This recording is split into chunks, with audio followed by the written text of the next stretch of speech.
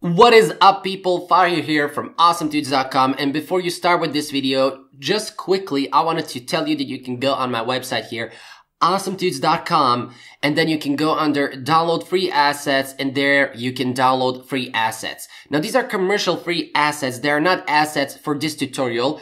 The assets for this tutorial, this dark cave, you can find link is in the description below so you can get them from that link. But these are other commercial free assets that you can use to develop your own games and you have 3D assets, 2D assets, backgrounds and whatnot. And I keep adding new and new stuff. So you should definitely check this out and yeah, enjoy the video.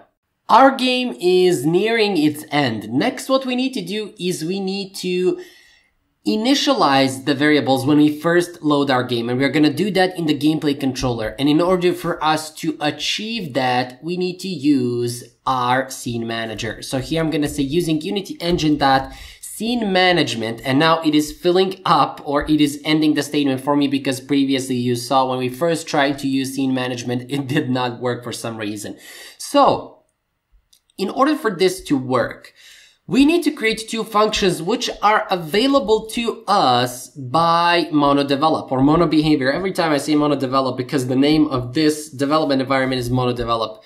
So it's called void on enable and we also have one more which is called void on disable.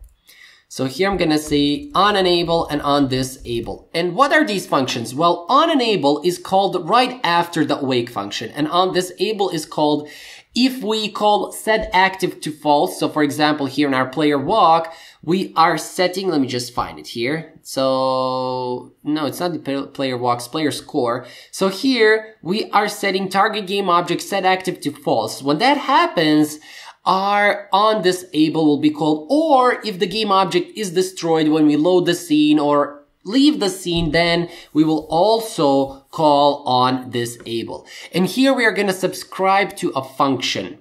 And that we are going to do, so I'm going to create that function here, which I'm going to call void level finished loading. And this function takes two parameters.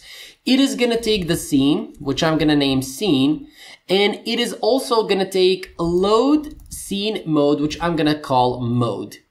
And here in on enable, we are to say scene manager or scene, yeah, scene manager dot scene loaded plus equal to level finished loading. And I'm to copy the code and paste it here. And here I'm to say minus equal to level finished loading. Now, this is called delegation. If you're not sure, you can go on my YouTube channel, which is called Awesome Tuts, and see the videos about delegation so that you will understand what that means. But in short, delegate is a way of us to have a task that we want to be executed, but we don't care who is going to execute that task.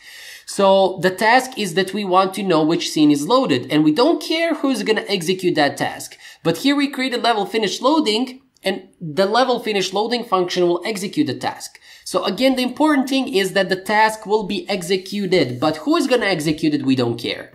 So now we are going to say if scene.name is equal to gameplay. So if the loaded scene is gameplay. So if we just loaded our gameplay scene, what we are going to do is we're going to test if our game manager, so game manager, game manager dot instance dot player died game restarted.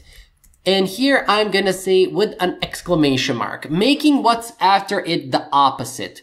So we're gonna test if the game is not restarted after player died, meaning if the game is new. So did we go from the main menu in our game? If that's true, then we're gonna say score is equal to zero and life score is equal to 2 because this is the initial value.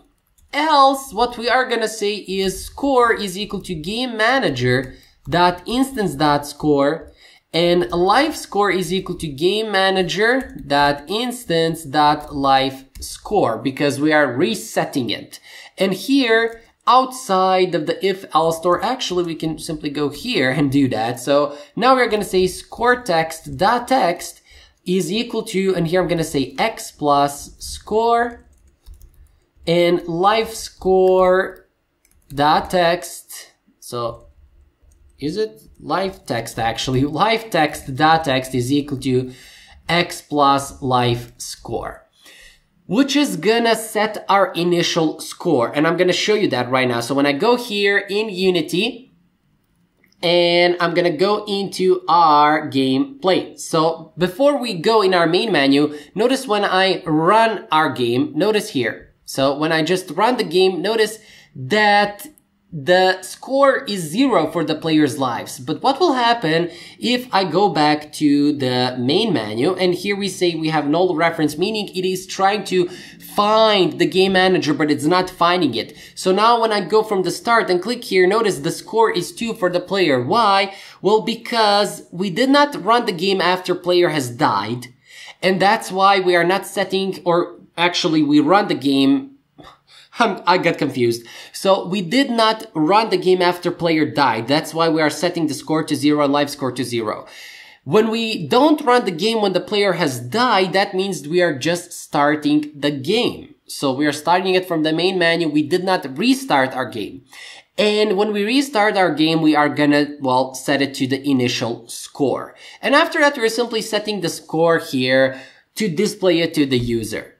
Now, in order for us to know when the player has died, we will need to create a function for that, but that we are gonna do in the next video. So this was just for setting up initial values when we first run our game. The next thing that we need to do, and with that, we are gonna wrap up our game. That is to save the score to the game manager when the player dies and reload that score and check if the player has no more lives left to continue. We will not reload the game and also end the game when we reach the door. So I will see you guys in the next video.